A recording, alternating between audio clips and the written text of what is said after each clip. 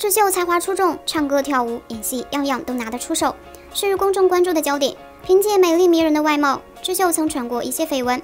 今天我们就盘点一下，看看谁才是她的理想型呢？一、孙兴敏。孙兴敏是韩国最受欢迎的足球运动员之一。二零一九年中秋期间，智秀在托特纳姆热刺球场观看孙兴敏的比赛，被发现两人戴了相似的手链，绯闻就此传开了。二、S.O. 金俊勉。金俊勉曾在访问巴黎时，在社交平台上发布了几张照片。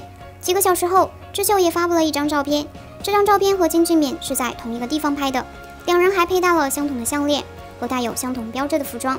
三 GOT7 朴真荣，二零一七年出任人气歌谣 MC 时，智秀经常紧紧地盯着朴真荣，粉丝们认为他们之间有些浪漫。